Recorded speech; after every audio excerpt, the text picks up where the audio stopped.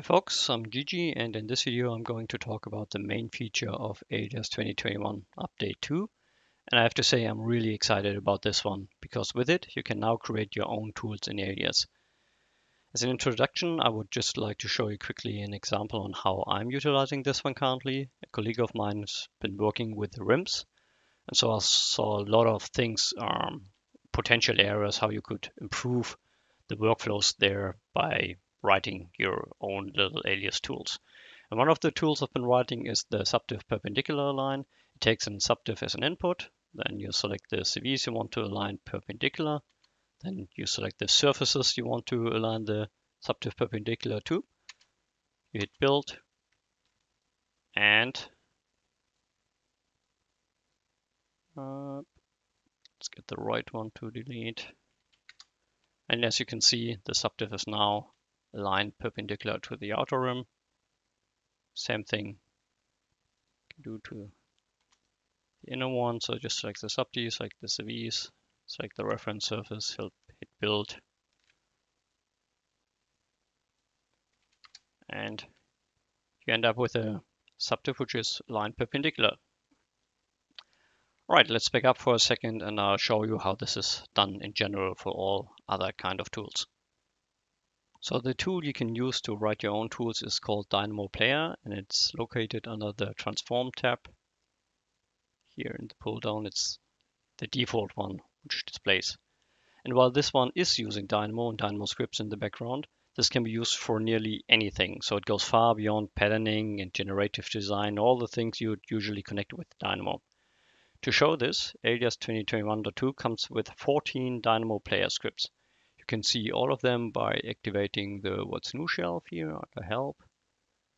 And there you see all of those. And only one of these scripts is targeting the typical Dynamo area of patterning, respectively computational design. All the other ones are targeting different areas like file export, subdiv primitive generation, and more complex tools like to create or modify subdiv or NURBS geometry. So this really shows the possible diversity of this functionality.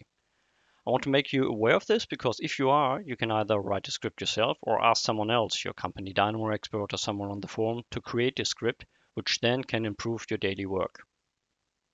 So how do you utilize your own written Dynamo scripts as tools in Alias well, the first time you open the Dynamo player, it uh, takes usually a few seconds because Dynamo needs to start in the background. Uh, but all other subsequent users of Dynamo or the Dynamo player in this Alias session will be fast as usual. So the first time the Dynamo player comes up, uh, the script location is empty and you can just browse on your computer to the Dynamo script you want to utilize. So let's go here to my work in progress section and just load the script I've shown you before. As mentioned, first time you'll use it a few seconds to fire up Dynamo. And then you can see that the Dynamo player window adjusts according to the script. And it will show you all the needed inputs here in the lower section. And you can, by the way, also control how this one is displayed on the Dynamo side. So if you now want to use this script here on a more regular basis and you want to have it as a regular tool on your shelf, you can then, when the script is loaded, just middle mouse button, drag it onto your shelf. And you're creating an instance now of the Dynamo player, which will always be loading the script which you had here in this section when you dragged it onto the shelf. Right, so um, then control, control right mouse button, double click to give it a good name so you can actually recognize it, your daily work. And now, yeah, I mean, every time uh, now you'll start this one here, it will bring up the subd line perpendicular script script and you've created your own tool. And this is extremely powerful because now users can use this one here. They don't have even to know that this is Dynamo or it's using Dynamo in the background. For them, it's just a subdiv perpendicular line tool, right? And they can use it straight away. Nothing to be known about Dynamo. They can just use it.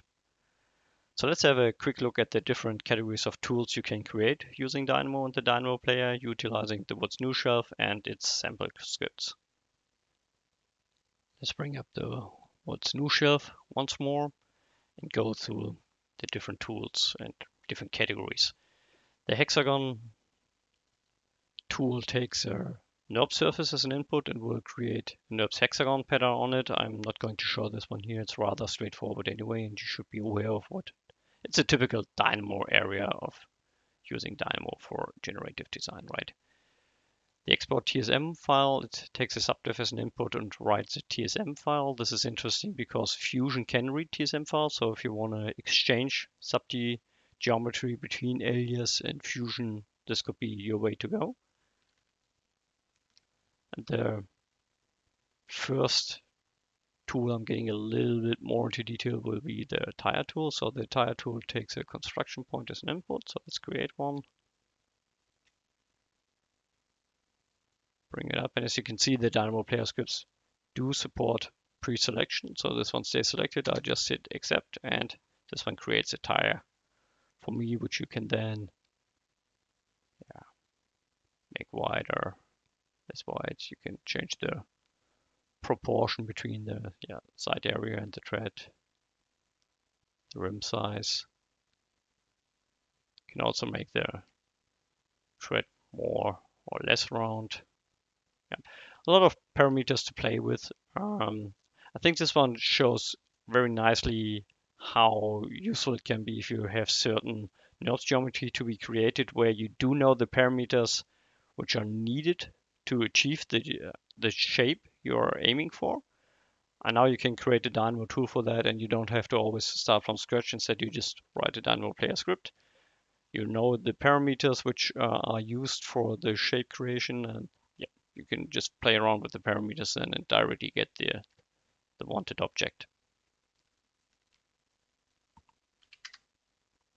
The next category I'd like to show you is the one of subdiv templates. And you might be familiar with this example because I've been showing this one as a wire file connected to a wire file. This is now the Dynamo Player Script version of it, which creates you a subdiv shape of a, uh, yeah, of a side of a car. And you can adjust the width of the car, you can adjust the wheelbase, right?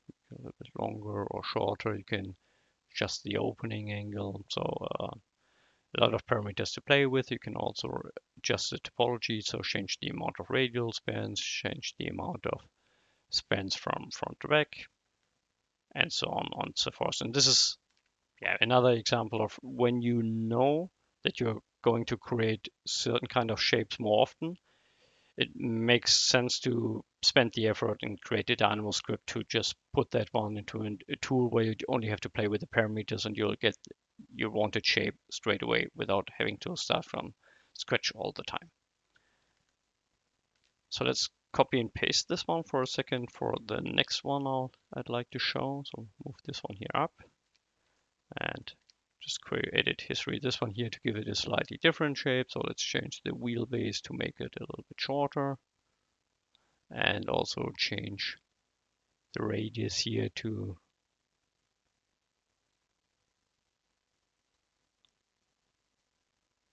maybe something like this because the next script I'm going to show you is a modificational, well, kind of a modificational one because um, the morph script takes two subds as an input, which have to be originating from the same shape. So it has to have the same amount of CVs. So yeah, best way to is to ensure that is copy and paste, right? And then modify. Now we have two different subd shapes here.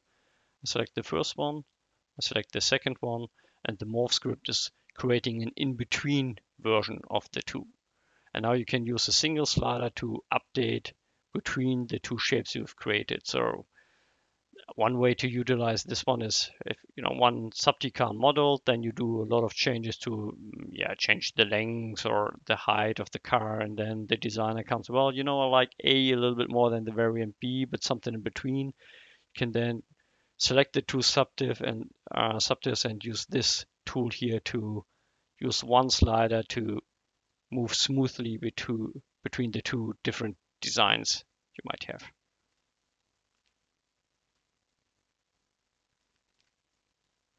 The next category I'd like to talk about is the one of subd primitives. I'm not going into detail on well the torus, the sphere, the quad ball, those or the cone. Those are rather straightforward. But I'd like to spend a second on the pipe tool because it can do a little bit more than the name might suggest. And to demonstrate this one, I'll just quickly create three curves here, which are connected.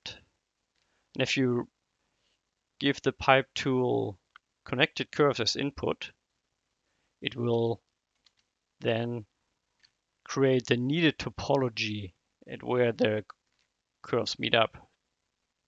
So this is kind of nice. So if you have a curve network and you you know you can create a, a pipe and they're all connected and at the connection points you get a nice smooth transition with the needed topology. And as you might remember, I've been using this one here to show the, the rim example in the beginning. Another tool worth mentioning is the sweep tool. So this is not a subdiv primitive tool, but a rather a little bit more complex one, which takes curves as input. So let's quickly create guide curve and then also profile curve. So the sweep tool takes a path curve, a profile curve, and then creates you a sub-D topology out of those input curves.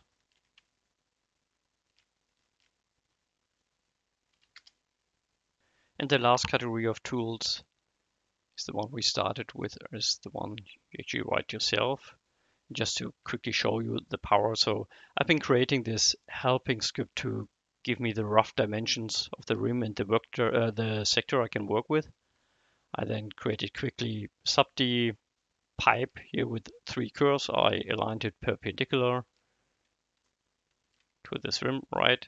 I can then get back to the initial state of where I've decided on the rim sectors, how many sectors I want. Then you can switch here the base count to, okay, you know, this is my starting base count of six. And if I then select the sub-D I have created, it will rotate this one here for me, which is, well, not so impressive, right? But if you then, let's hide the original one, which is this one here. Uh, object display invisible. What is really powerful then is you can now go in there and say, well, you know, maybe six spokes is not what I want. I want to have 11 spokes and we'll do the rotating and the, the scaling for you. So radial scaling. So once you've finished your sub-D rim work, you can choose any amount of spokes. And the tool will do all the rotating and the scaling for you to, to make it fit and I, yeah, find this one really neat and helpful. And this is yeah a way on if you have a, a way of using Dynamo player scripts to make your daily life easier. So I hope you found this one useful. Thanks a lot for watching the video and hope to see you on the next one.